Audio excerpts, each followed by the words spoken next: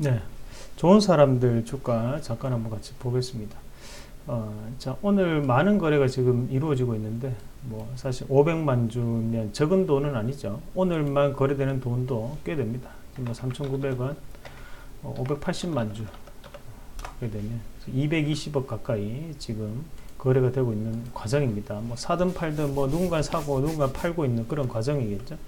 자, 근데 여기서 이제 우리가 조금 생각을 해야 되는 게, 어, 여기 이제 지금 빠지면서 좋은 사람들이 500억 원 규모의 대규모 유상증자를 했다라는 소식이 지금 급락이 하고 있는 상황이고, 어, 최근에 이제, 어, 요런 소식을 했던 기업들이 많았죠. 뭐, CMG 제약 같은 경우에도 앞에서 여기 5월 16일 날 무슨 뉴스가 있었습니까?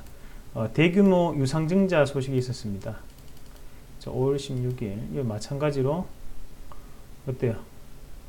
여기서도 1120억 원 가까이 유상증자에서 크게 빠졌다. 뭐 이런 뉴스가 있었고 뭐 삼성제약 같은 경우에도 마찬가지로 크게 여기서 이제 급락이 꾸준하게 나타났는데 어, 여기 어디더라? 그때 어, 여기 여길 겁니다. 이렇게 한번 크게 탁 터졌죠. 요 2018년 4월 16일인데요.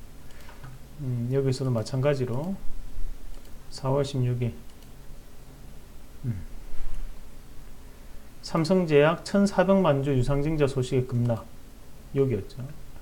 한마디로 이 바닥에서 대부분 지금 패턴이 비슷하게 움직이는 거예요. 이거를 우리가 넓게 본다면 2018년 4월 달이거든요. 그러니까 이런 데서 지금 유상증자가 결정되고 난 다음에 주가가 이제 빠지면서 권리락하고 이렇게 이제 움직였습니다. 이 이후로도 주가가 어떻게 움직입니까? 꾸준히 더 빠졌죠.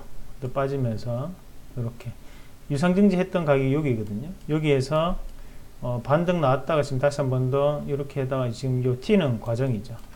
지금 튈 때 어떻게 튑니까? 상당히 강하게 튑니다. 그죠? 빠르게 그리고 강하게 이렇게 튀어서 올라가는 거고. 그럼 우리가 이 그림 자체를 보더라도 앞에서 유상증자가 이루어지고 난 다음에 권리락을 맞았고 유상증자가 출해된 여기잖아요. 그러니까 실질적으로 우리가 자리 잡더라도 이런 자리, 이런 자리 밑으로 주가가 한번 크게 내려갔다가 내려갔다가 이 자리 지금 벗어나면서 올라가고 있다는 거예요. 이건 추가적인 상승이 좀 더 가능하겠죠. 어, 왜냐하면 유상증자를 했던 그 가격대 밑에서의 구간도 존재를 했기 때문에 이런 구간 자체는 바로 과매도 우리 일종의 어, 매집에 대한 구간으로 평가할 수 있습니다. 마찬가지로 지금 CMG 제약 같은 경우에도 유상증자가 이루어지고 이루어지고 어, 여기서 이제 반등이 나오는 것은 단발적인 단기적인 반등이 될 확률이 높고 또 추가적인 하락이 나타날 수도 있겠죠. 다만 그 내려간다는 것은 그것은 어, 유상증자를 했던 한마디 돈을 받아서 증자를 했던 가격대에 대한 부분은 어, 기준점으로 활용될 수 있다는 거거든요. 자 그러면 오늘 저 지금 현재 좋은 사람들이 여기서 유상증자를 했어요. 결과를 발표하고 그럼 앞으로에 대한 주가는 어떻게 움직일까요? 앞에서에 대한 통계적인 부분을 봤을 때 주가는 하락을 좀 더 할 확률이 높겠죠. 그리고 거기에 권리락이 한번 넣을 거고 그리고 유상증자를 한 증자가 어, 신주가 상장이 될 겁니다. 그러고 난 다음에 주가 또 움직인다 봐야 되면 우리가 유상증자를 하고 난 다음에 어, 한 달 안에 주가가 반등이 나올 수 있다 없다. 상당히 어렵다는 거죠.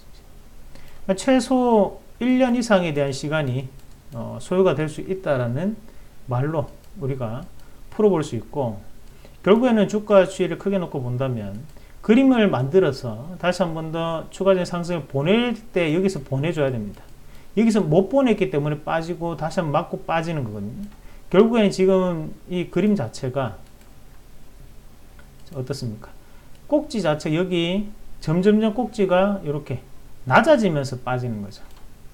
그러니까 여기서부터 시작해서 꼭지가 이런 식으로 낮아지는 겁니다. 그러니까 큰 그림 안에서 보면 이런 식으로 흘러내리는 흘러내리는 이런 그림이 형성이 되는 과정이라고 봐야 되는 거고 안에 재무제표 같이 보겠습니다. 자 중요한 것은 제가 표시를 해드릴게요. 일단 신주 신주가 현재 발행 주식 수가 얼마냐? 지금 2,900만 주예요. 근데 신주가 얼마냐? 2천만 주입니다. 그러면 지금 우리 주식 수가 얼마가 된다는 얘기예요? 4,900만 주가 된대요. 그러니까 지금보다 약 두 배수가 더 많아진다. 이 말이고, 어, 4,990만 주겠죠. 그러니까 여기에서 운, 이걸 시설 자금으로 얼마를 받느냐? 이 합쳐가지고 이 돈을 받는 거다. 이런 나오는 거고. 주주 배정 후 실권주 일반 공모. 그러면 주주들은 먼저 배정을 할 수 있는데, 그게 뭐다? 그러니까 이것도 신주인수권이 있다, 없다? 있어요, 없어요? 주주 배정 후 일반 공모니까 신주 인수권에 대한 거리, 권리가 있죠. 자, 주주 배정이라고 하는 것은 무조건 신주 인수권이 생긴다고 생각하시면 돼요. 예정 발행가액이 일단 2,800원이에요. 그러니까 지금부터 2,800원까지는 상당히 멀었죠. 하락이 좀 나타날 수 있다 봐야 되고 확정은 11월 4일입니다.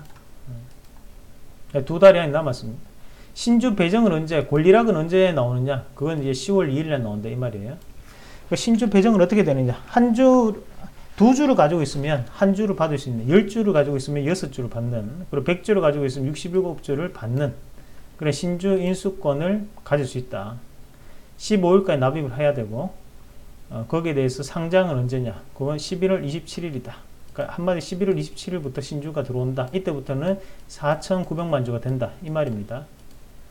자, 이렇게 이제 요거는 밑에 뭐 나중에 읽어 보시면 어, 평균 거래가액으로 하기 때문에 이 지금 예상가액 2,800원보다 더 낮아질 수도 있습니다. 그 부분을 참고를 하셔야 되고 어, 그래 최근에 또 코스모화 자, 이런 기업들도 봐요.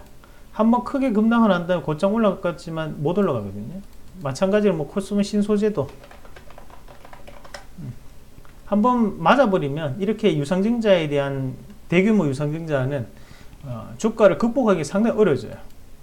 아시겠죠? 그러니까 좋은 사람들 같은 경우에도 실질적으로 지금까지 개성공단 관련해 가지고 이슈가 됐던 종목군이 거기에 따라서 주가를 움직였는데 이런 기회를 틈타서 지금 유상증자를 해버리는 상황. 그것은 지금 당장의 주가를 어, 자본금을 증가를 시킨다는 것은 본인들의 자본금을 뭔가를 해보겠다는 얘기예요. 새로운 사업을 하거나 아니면 사업을 확장하거나 아니면 공장을 짓거나 뭔가를 한번 해보겠다는 뜻이에요.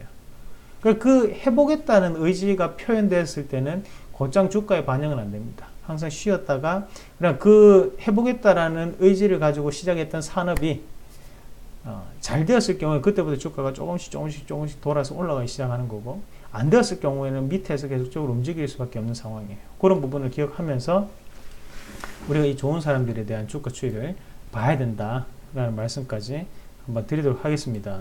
그래서 지금 우리가 이 좋은 사람들에 대해서 공략하는 건 상당히 어렵고 만약에 보유를 하고 있는 입장이라도 소폭이나마 반등이 조금 붙어서 나오면 그때는 조금 결단을 해서 어, 이 경협주가 마음에 드신다면 좀 더 다른 경협주로 보시는 전략까지 함께 말씀을 드리도록 하겠습니다. 그래서 유상증자가 어, 이렇게 주주 배정 후 일반 공모는 최근에 트렌드입니다. 상당히 많이 이루어지는 트렌드죠.